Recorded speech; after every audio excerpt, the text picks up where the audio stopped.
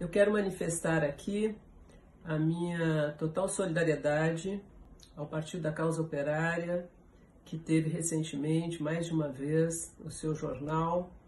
eh, invadido por hackers,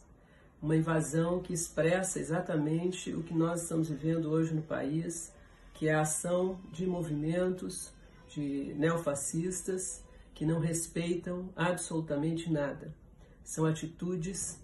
têm agredido a democracia, como é típico do movimento neofascista, e que querem impedir a livre manifestação dos partidos, das organizações, dos movimentos, porque não só o Partido da Causa Operária, mas outros sites, outras mídias alternativas também têm sido alvo de ataques eh, dessa natureza. Então, minha total solidariedade a todos que têm sido atacados e continuamos na luta contra o neofascismo no Brasil.